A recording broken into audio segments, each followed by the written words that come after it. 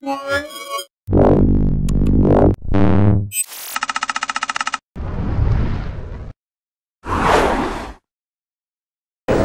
Andrzej hier für tabletblog.de. Wir sind gerade am Stand von Arcos und wie bereits angekündigt haben die Franzosen hier äh, zwei neue Schallpads vorgestellt. Ein 8 Zoll Schallpad und ein 10,1 Zoll Schallpad. Wir haben hier drin ein äh, Rockchip Dual-Core Prozessor, 1 GB Arbeitsspeicher und jeweils 8 GB Flash-Speicher. Die Auflösung ist bei beiden ähm, ziemlich gleich. Wir haben bei dem 10 Zoll Modell eine Auflösung von 1024 x 600 Pixel und bei dem 8 Zoll Modell eine Auflösung von 1024 x 768 Pixel. Man könnte sagen, wie beim iPad Mini, allerdings ist das Display beim iPad Mini ähm, deutlich besser. Wir sehen, dass die Blickwinkel nicht ganz so gut sind. Es scheint auch kein richtiges IPS-Display zu sein. Ähm, hier drauf läuft Android Jellybean, nee, gehe ich mal von aus, aber wir schauen mal ganz schnell in die Einstellungen. Dazu wird es sicherlich wieder einiges an Software geben, wie beim ersten Childpad, die eben für Kinder dann optimiert ist. Und wir sehen hier Android 4.1.1 Jellybean. Das gleiche dürfte dann auch bei dem 10 Zoll Modell der Fall sein. Gehen wir mal ganz schnell um das Arcos 80 Childpad herum. Wir haben hier das besagte 8 Zoll Display, eine Frontkamera.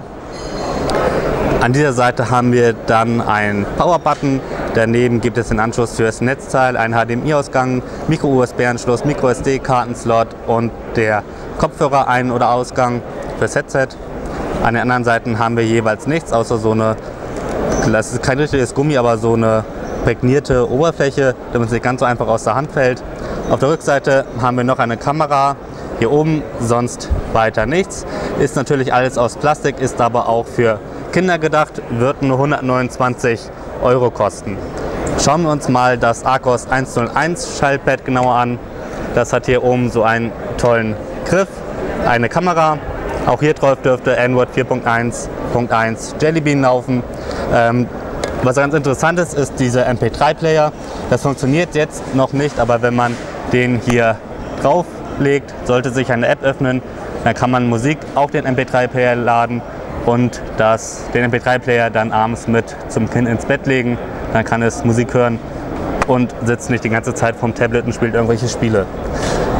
Ja, 10,1 Zoll Display, gehen wir mal hier drumherum. Wir haben hier einen Power-Button, dann eine Wippe für die Lautstärke, ein ähm, HDMI-Ausgang, Micro-USB-Anschluss, Headset-Port, Power, ähm, Anschluss, darunter ein Micro-SD-Kartenslot.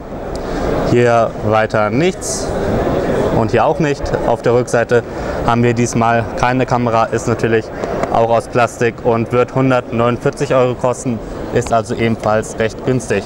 Gut, das war das Arcos 80 und 1 und 1 Schaltbett. Ich bin Andrzej für tabletblog.de. Vielen Dank fürs Zusehen.